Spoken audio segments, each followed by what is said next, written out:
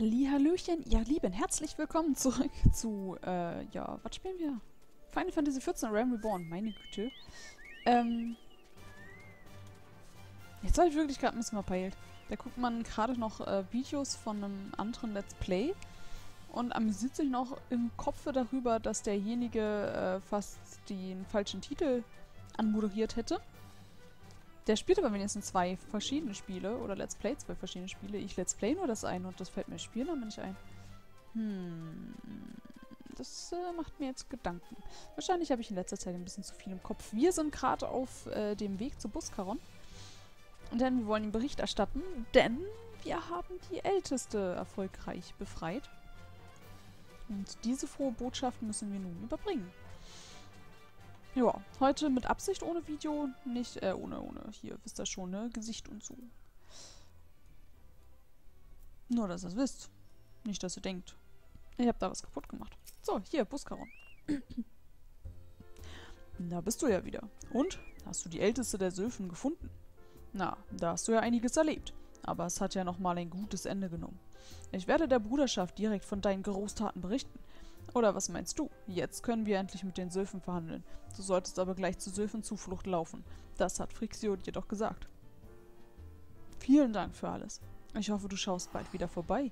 Ich werde stets einen guten Tropfen für dich bereithalten. Das eklige Zeug, das wir rangeschafft haben von seinem Kumpel. Von seinem Kikia-Kumpel. Hat er nicht gerade gesagt, wir sollen zu Sylphen-Zuflucht? Na gut, dann rede ich nochmal mit ihm. In Freundschaft verbunden. Buskaron möchte den Sylphen etwas zukommen lassen. Ah, wir sollen was mitnehmen.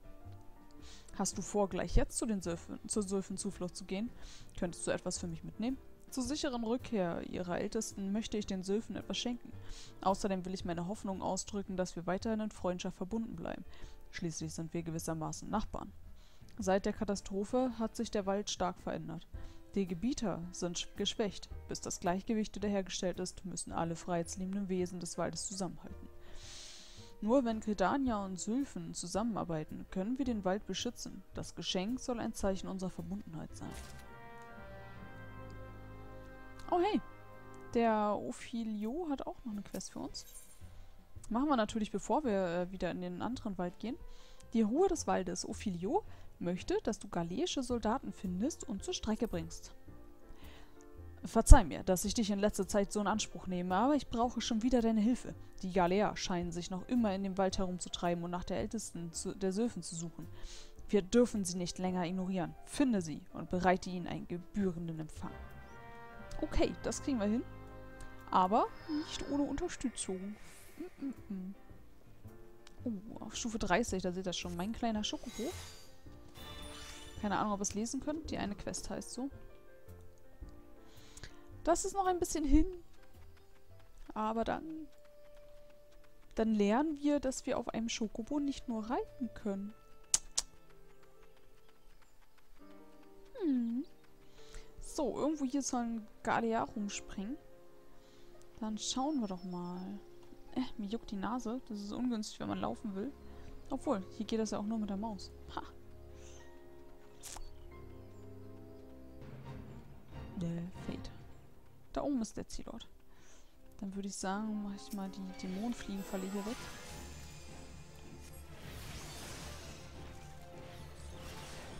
Keine Lust gegen Galea und äh, einem random rumstehendes Vieh zu kämpfen. Naja. Lass das, ich hasse das. Und tot. So. Schauen wir uns mal um. Hier ist natürlich ein guter Standort, um zu schauen. Schön erhöhter Punkt.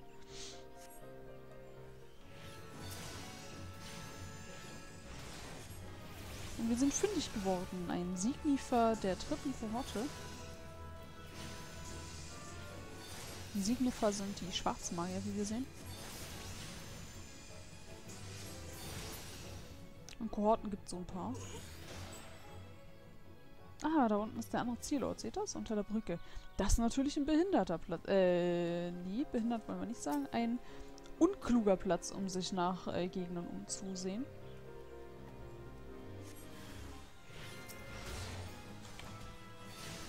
Begebe mich mal hinter diesen Sekutor der dritten Kohorte. Sekutoren sind die Faustkämpfer, wie wir sehen. Irgendwann will ich mir das mal merken, wie die heißen. Eigentlich müsste ich es schon längst wissen. Es ist eigentlich gar nicht so unklug, das zu wissen, ähm, wenn man gegen Gruppen von Galea kämpft, dass man zum Beispiel ähm, an den Namen an der Leiste an der Seite immer gleich weiß, welcher Gegner jetzt ein magischer Gegner ist oder vielleicht ein Heiler oder so. Aber ich kann es mir nicht merken. So. Ah, das Bier schmeckt ihm gleich wieder besser, ist das schön.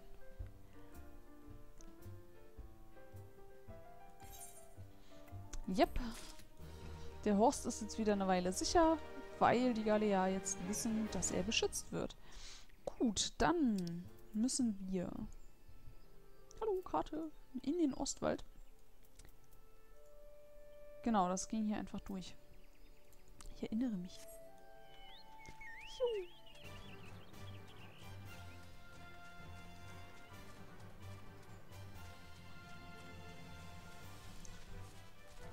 Ähm, die nächsten drei Folgen könnten übrigens auch ohne Video werden. So roundabout. Also diese und... Äh, ohne Video. Ich sage immer ohne Video. Ist ja totaler Quatsch. Wie will man denn ein Video machen ohne Video? Hm. Ihr wisst schon. Ohne Facecam. Ah, mein Karfunkel ist gerade verloren gegangen. Ähm, weil ich jetzt vorhabe, eigentlich vier Folgen aufzunehmen. Gucken, ob das klappt. Aber... Ja. Moment, hier bin ich falsch. Da ist der Auswahl. Ich bin eine Dominus, eine Dominus, eine Dominus. Na gut, dann porte ich. Aber ich habe auch, ich habe da drauf geklickt und er hat mich an, an der Seite rausgeschmissen. Deswegen habe ich gar nicht weiter hingeguckt. Gere. Nein, lass mich doch mal da jetzt hin.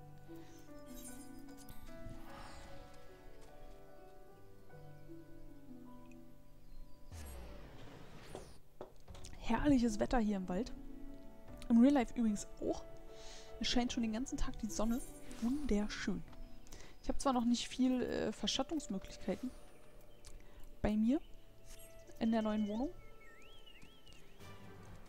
Ähm, hier, wo ich schlafe und aufnehme, ähm, wo mein Rechner halt steht, da habe ich äh, schon Vorhänge.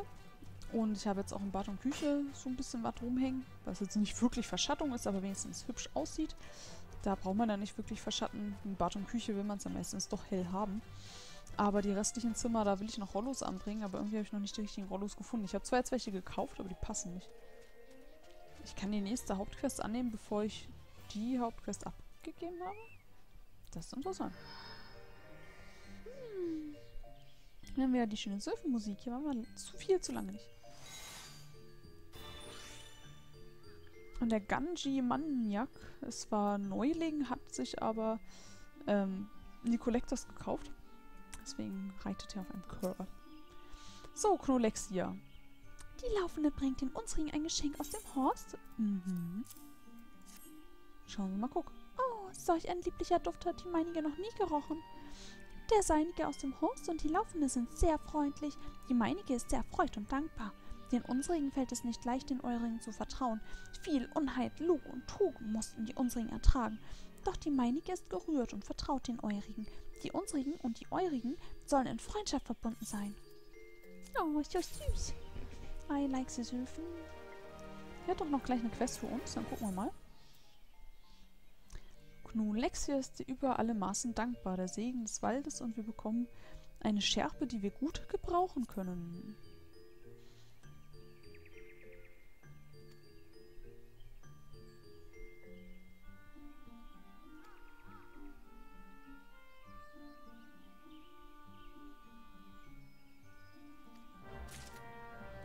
Wir sollen ihr Blut besorgen aus Mücken.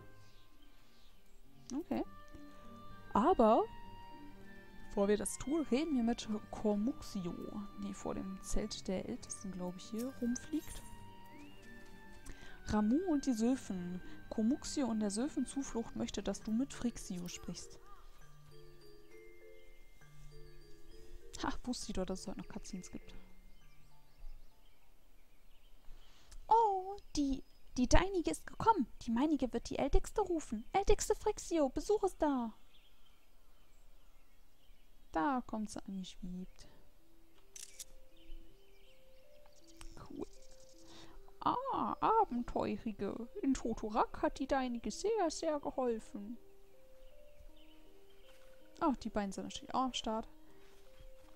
Können sie wieder irgendwo rumstehen und Maul auf dem Pfeil halten. So treffen wir uns also schon wieder, Noel. Und Beiträgen haben no Noraxia geholfen. Vielen, vielen Dank. Nicht der Rede wert. Aber wieso wart ihr eigentlich an jenem Ort? Vor einiger Zeit sind im Wald die gemeinigen Galea aufgetaucht. Die unsrigen wollen den Grund dafür finden. Deswegen beobachteten wir die Störfriedigen.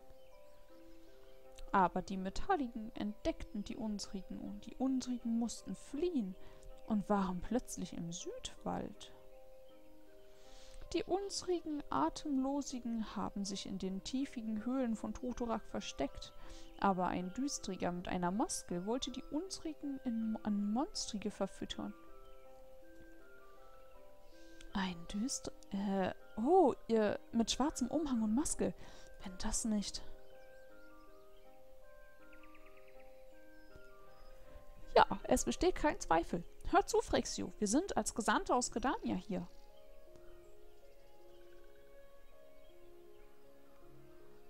Ah, die Eurigen fürchten sich also vor dem großigen Ramu. Wo hat sich das jetzt hingesteckt? Äh, ja, so könnte man das ganz verkürzt ausdrücken. Aber versteht uns richtig, wir kommen in Frieden. Ja, und ihr habt doch schon einmal Ramu beschworen und seither machen sich die Leute ein bisschen Sorgen. Ich meine nicht, dass wir euch etwas unterstellen wollen, aber... Kanisana ist eine Gutige. Die unsrigen wissen, dass sie nichts Finstriges im Sinne hat. Dass die unsrigen Ramu gerufen haben, hatte einen Grund. Im Wald gehen die Metalligen um und die unsrigen wollten sie vertreiben. Aber wenn Ramu herabsteigt, dann werden unsere Köpfe verwirrt, wie wenn sie nur leerige Blätter wären und Ramu drinnen wohnt. Die unsrigen in dieser Zuflucht sind dagegen, dass die finstrigen Söfen Ramu beschwören. Das sieht ziemlich nice aus. Schwimmen wir noch ein bisschen näher? Das sieht echt ziemlich nice aus. Ich meine, ich weiß ja, wie Ramu ausschaut, aber...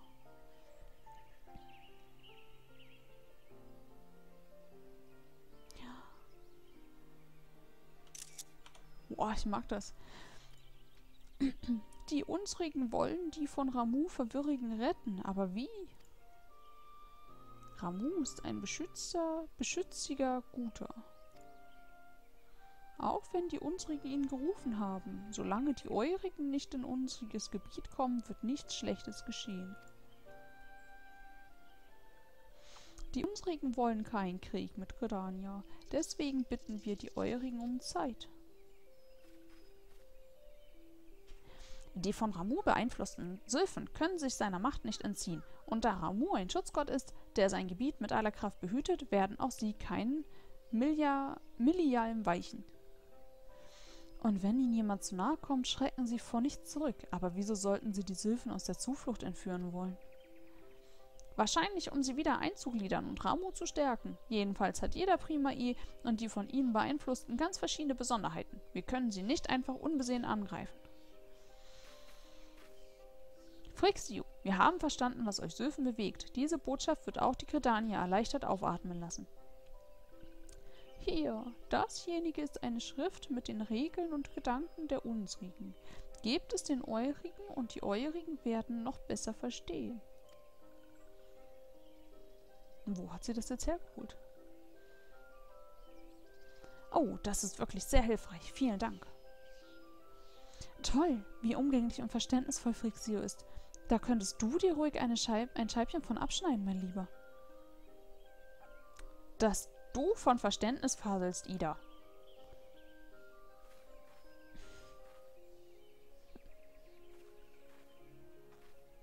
Noel, wir machen uns auf den Weg zum Sonnenwind und berichten mit Filia. Dass der Dialog mit den Söfen so erfolgreich war, ist dein Verdienst. Deswegen steht es auch dir zu, diese Schriftrolle an die Bruderschaft der Morgenwiedbar zu überbringen. Im Klartext, du hast schon die ganze Arbeit gemacht, also macht gefälligst auch zu Ende. Wir wollen chillen. Frixio, wir danken euch für alles. Euer Verständnis hat Eosea den Frieden ein Stück näher gebracht. Oh, auch die unsrigen danken sehr. Mögen die Friedigen letztlich siegen.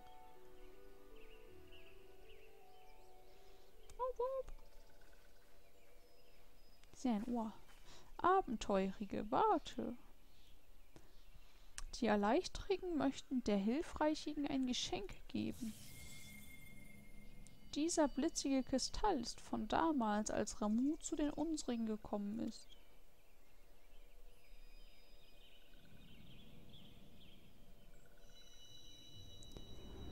Oha.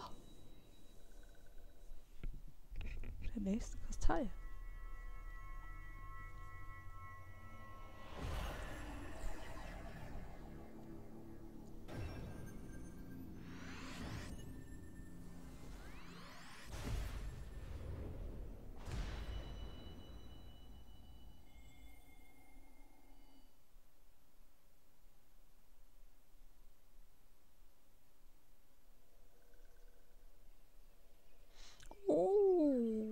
Meinige wusste es, eine Erwältige.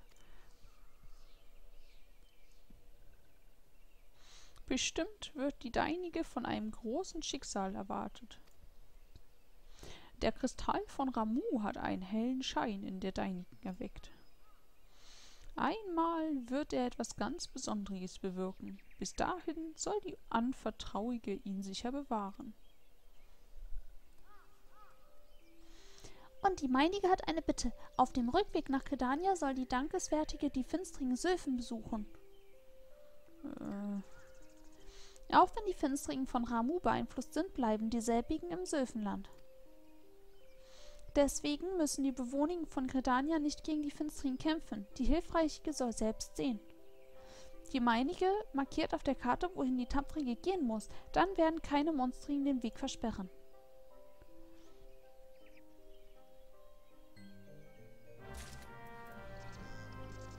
Nachname, Vorname. Sehr schön. Ich muss dahin. Was ist da? Ach genau, die Nebenquest ist da noch. Die machen wir dann natürlich noch. Mir scheint ein bisschen die Sonne aufs Display. Aber nicht so schlimm. Plus hier ist es gerade zu dunkel. Deswegen fällt es mir besonders auf. Du hast einen bisher unbekannten Ort betreten. Yay.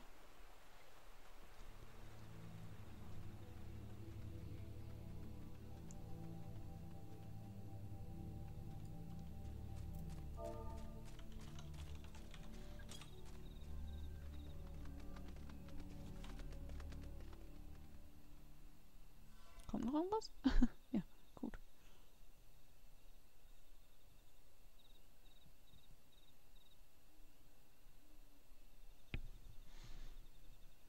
Du siehst besessene Sylphen in einiger Entfernung. Sie stellen offensichtlich keine Gefahr dar, solange du nicht zu tief in ihr Gebiet eindringst.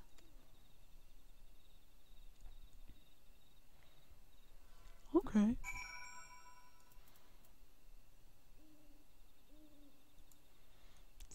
Für die Hauptquest müssen wir nach Kedania, aber vorher geht's an die Nebenquest. Die Nebenquest ist Stufe 24 und den Gürtel will ich haben. Die Druidin ist ja leider erst noch 23, sonst hätte ich das jetzt mit ihr machen können. Aber wenigstens sind wir nicht mehr überlevelt. Mit der Druidin äh, kann ich auch anderweitig leveln. Das ist gar kein Problem. Moment. Erstens aus und zweitens bei Fuß.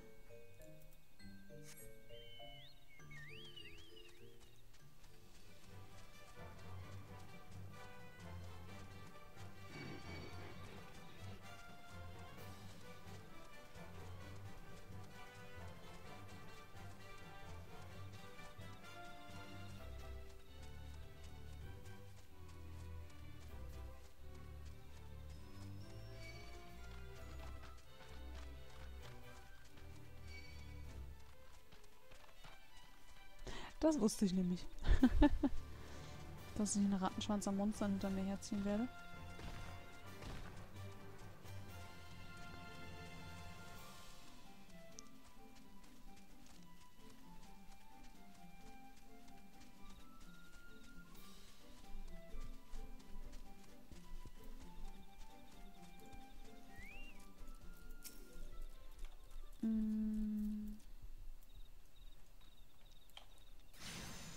Soll die ja jetzt schwächen, ne?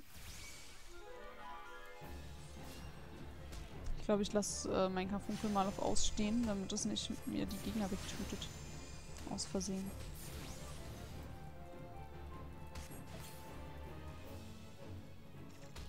Hat er jetzt.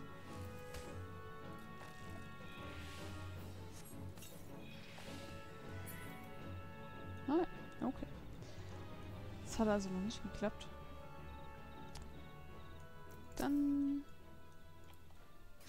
So dauert zwar ein bisschen länger, weil das Karfunkel macht ja auch Damage, aber ist mir trotzdem lieber. Ein Little Miss Pinky, auch schön.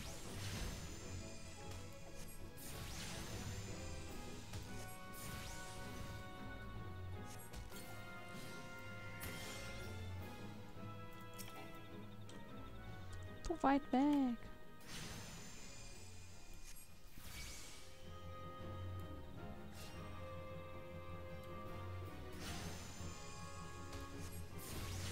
So, und dann mussten wir doch noch eine andere Mückenart. Waren das die Hops und Haarmücken, die hier gleich noch mit rumspringen?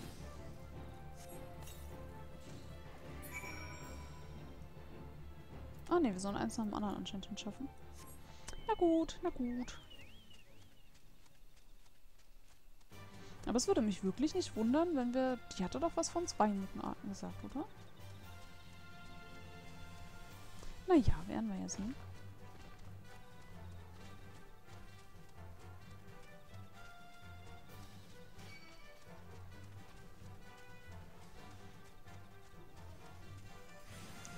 Kätzchen.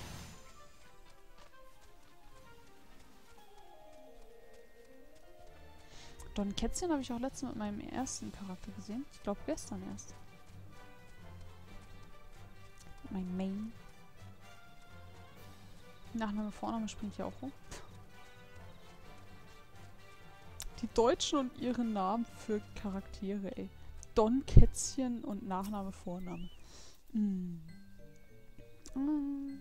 Ja. Ich habe die lästigen Mücken matschig gemacht. Was? Ja, fabelhaft. Hier bitte Talismanige. Yay. Also doch nicht noch mehr. Schön.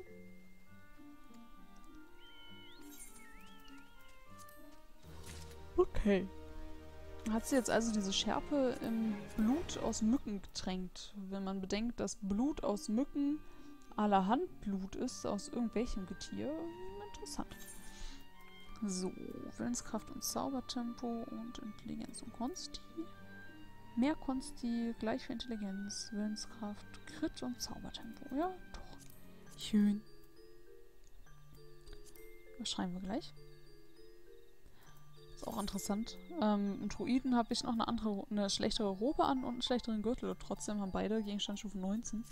Die Gegenstandsstufe steigt zum Teil echt irre langsam. Ähm, dabei habe ich ja mit ihr sogar ein besseres Buch. Druiden habe ich, glaube ich. Oh. Nicht, Mann. ah, Stufe 23. Gut, okay. Ähm, das wollte ich jetzt noch fertig machen, denn dann geht es jetzt raus auf, aus dem Wald und ähm, ja, den Wald wollte ich jetzt in der Folge noch fertig machen. Ich hoffe, es hat euch gefallen. Mm, Wenn es euch gefallen hat, dann lasst mir gerne einen Daumen nach oben und oder alles äh, einen Kommentar da. Ihr wisst ja, dass ich mich darüber sehr freue und ich antworte auch eigentlich auf jedes Kommentar, wenn es da irgendwas zum Antworten gibt. Oh, Mikrofon, bist du süß. Gut, und dann sehen wir uns in der nächsten Folge in äh, Gridania wieder. Ja, genau. Also dann, bis dahin. Tschüss, ihr Lieben.